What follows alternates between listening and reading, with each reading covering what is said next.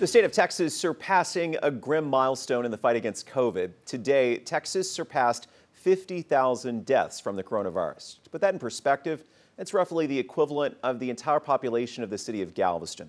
According to the Texas Department of Health and Human Services, Texas has recorded more than 2.5 million COVID cases.